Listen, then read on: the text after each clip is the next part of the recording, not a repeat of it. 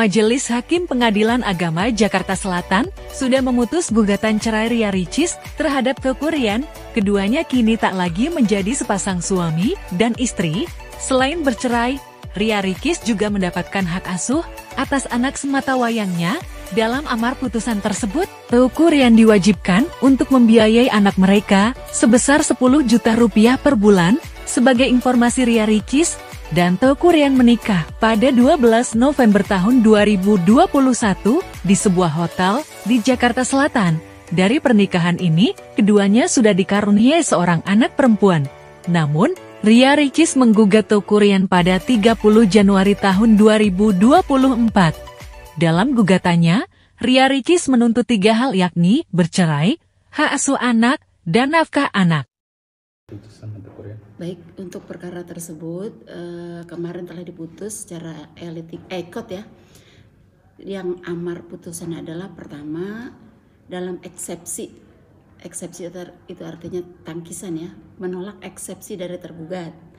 Dalam pokok perkara mengabulkan gugatan penggugat, menjatuhkan talak satu bain sugro dari tergugat terhadap penggugat, terus anak penggugat dengan tergugat berada dalam asuhan dan pemeliharaan penggugat dengan ketentuan bahwa penggugat tidak boleh menghalangi tergugat untuk menyalurkan kasih sayang terhadap anak tersebut serta menghukum tergugat untuk membayar biaya untuk anak tersebut sampai dewasa dan mandiri serta membayarkan biaya perkara itu isi putusannya. Kalau misalkan untuk biaya anak yang tadi ibu sebutkan itu ada nominal? Uh, ada, ada, ada nominalnya. Eh, sejumlah 10 juta rupiah per bulan. Hmm. Gitu. Itu berarti udah di persetujuan kedua belah pihak. Itu putusan majelis hakim. Hmm. Hmm. Kan dari gugatan sekian jawaban replik duplik pembuktian hasil putusan musyawarah majelis hakim itu adalah segitu gitu. itu yang tadi saya sebutkan ada berapa item tapi ada banding nggak bu dari nah ini kan baru diputus hmm. kemarin masa bandingnya mulai hari ini sampai 14 hari ke depan. Kita tunggu itu. Kalau selama 14 hari ke depan itu digunakan oleh salah satu pihak atau kedua belah pihak, pokoknya oleh para pihak untuk upaya hukum silakan. Kalau tidak digunakan ya juga silakan juga. Gitu. Artinya uh, ketika pihak tergugat tidak memenuhi nafkah tersebut, -hmm. seperti apa bu konsekuensinya bu? Yang jelas itu dihukum dulu itu ya kalau untuk konsekuensi misalnya uh, anak yang mestinya dipenuhi uh, apa namanya nafkah atau biaya hidup untuk anak tersebut bila tidak dipenuhi maka para pihak ya pihak yang dirugikan tentunya mengajukan upaya hukum ke Pengadilan Agama Jakarta Selatan dengan upaya eksekusi namanya minta untuk dilaksanakan putusan tersebut. Hmm. Bu ini kan udah putusan nih Bu untuk yeah. pihak penggugat kebetulan kan dari pihak perempuan nih Bu. Mm -hmm. Se apa berapa lama sih Bu bisa menikah lagi Bu? Uh, apa ada masa yang ditunggu Bu seperti apa Bu teknis mekanismenya Bu? Mm, baik.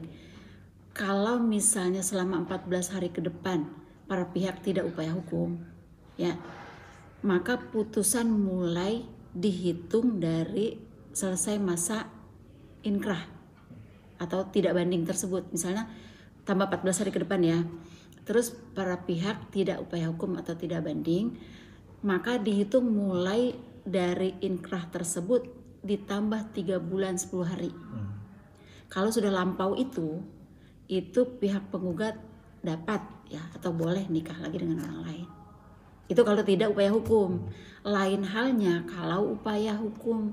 Kalau upaya hukum misalnya eh, para pihak itu mengajukan upaya hukum berupa banding, maka tunggu dulu putusan banding tersebut. Ya, kalau putusan banding sudah turun, sudah turun nih, terus ditambah 14 hari sejak di eh, apa sih diketahui oleh pihak itu sudah dibacakan dan diketahui oleh para pihak, tambah 14 hari dan mulai saat itulah dihitung sampai tiga, eh, tiga bulan dari itu dari masa inkrah tersebut. Ibu, ini kan yang mengajukan gugatan dari dari pihak perempuan apa ada nafkah-nafkah ian yang diajukan dari pihak perempuan mm -hmm. juga selain anak? Untuk kasus yang ini ya, karena penggugat, penggugat itu hanya mengajukan gugatan cerai, pemeliharaan anak dan e, biaya pemeliharaan anak, maka itu yang dikabuli. Selain itu tidak ada mm, tidak ada tuntutan. Jadi eh, udah ingkrah dan hak asuh anak di pihak atau di ini nama penggugat ibu ya? Ingat tadi statement saya. Iya. Ini putusan baru dibacakan ya, baru dibacakan dari kemarin. Oke.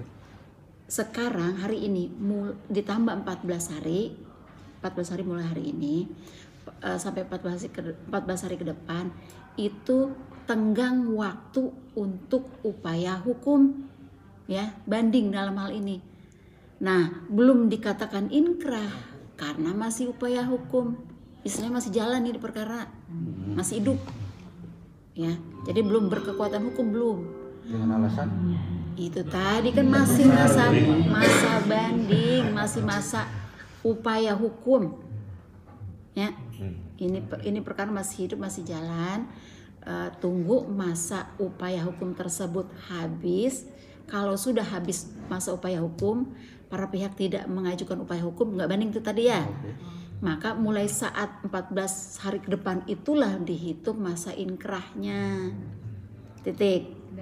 Tetapi kalau banding atau upaya hukum di masa 14 hari tersebut, tunggu dulu, lihat dulu nanti apa putusan. Kan dia ngajuin eh, memori banding tuh. Para pihak tuh, baik pihak penggugat atau pihak tergugat, apalah yang dibandingnya gitu lah. Misal, kita tunggu dulu. Memori banding naik ke atas ke apa namanya pengadilan tinggi agama. Kontra memori banding dari yang di eh, apa sih lawannya tersebut. Nanti eh, pengadilan tinggi agama Jakarta memutus nanti apa hasilnya kita tunggu. Kalau udah ada putusannya baru dah mulai dihitung lagi sejak putusan itu disampaikan kepada para pihak ditambah 14 hari. Baru dihitung dah dari sejak 14 hari yang akan datang tersebut gitu. Ya, ingat. Sekarang ini belum dikatakan inkrah. Belum, masih jalan gitu ya, masih hidup baru baru kedengaran aja gitu ya, baru baru ketahuan. menegaskan bu ini kan eh, pasangan ini kan menghasilkan satu anak perempuan ibu apakah Dikaruniai anak. dikaruniai iya. Eh, apakah pihak tergugat itu eh, wajib membayar nafkah sel- apa sampai dia menikah karena anak perempuan atau akil balik aja bu Hmm. perbedaannya apa bu Dengerin.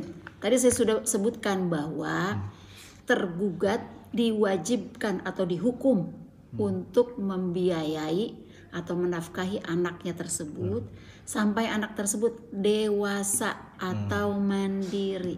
yang mandiri Ya, dewasa atau mandiri. Kan ada dewasa tapi nggak mandiri. Ada mandiri biasanya udah dewasa kan gitu. Dengan ketentuan penggugat nggak boleh menghalangi tergugat untuk menyalurkan kasih sayang. Dia mau ketemu dia mau sayang sama anak itu kan.